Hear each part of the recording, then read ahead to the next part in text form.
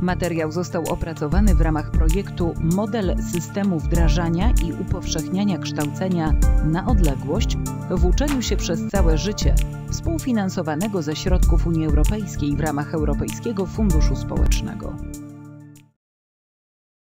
Witaj. Zapraszam do obejrzenia wideokastu dotyczącego piątego modułu kursu Działalność recepcji. Dzięki informacjom zaprezentowanym w filmie zdobędziesz niezbędną wiedzę przewidzianą w tej części szkolenia. Każdy gość bez wyjątku powinien być dla pracowników hotelu bardzo ważny. Są jednak osoby, które w hotelach traktuje się szczególnie i stosuje wobec nich indywidualne procedury obsługi, a przygotowane dla nich pokoje są odpowiednio wyposażone. Najczęściej wyróżnia się trzy typy gości specjalnych. Pierwszym z nich jest VIP, z języka angielskiego Very Important Person, oznaczający bardzo ważną osobę. Gościem specjalnym jest również gość niepełnosprawny o szczególnych potrzebach, wymagający indywidualizacji procesu obsługi. Do gości specjalnych zalicza się także grupy turystyczne, które ze względu na specyfikę obsługi traktowane są w sposób szczególny.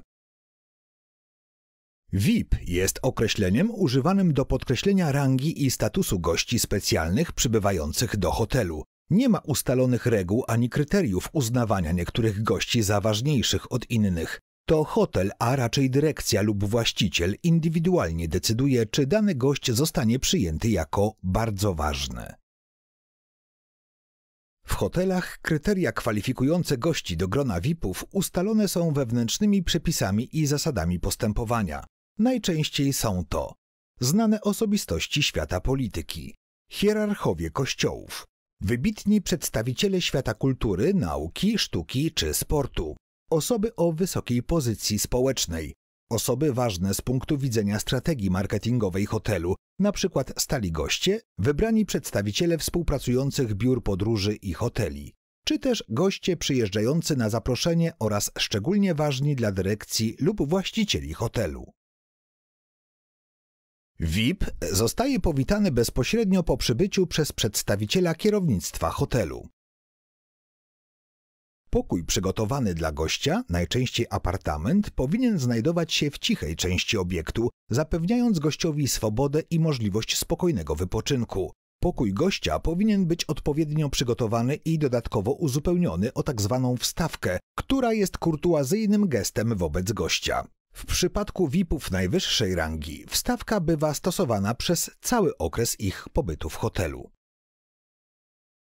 Bagaże gościa VIP powinny zostać dostarczone do pokoju przed jego przybyciem, najpóźniej w ciągu 10 minut po wejściu gościa i pozostawione we wskazanym przez gościa miejscu. Rano gość powinien otrzymać prasę codzienną do pokoju w języku ojczystym lub innym znanym języku. Tytuły powinny być zgodne z zainteresowaniami gościa lub złożonym przez niego zamówieniem. W restauracji hotelowej gość odprowadzany jest do zarezerwowanego najlepszego stolika. Często obsługiwany jest przez więcej niż jednego kelnera. Gościa VIP żegna osoba, która go powitała.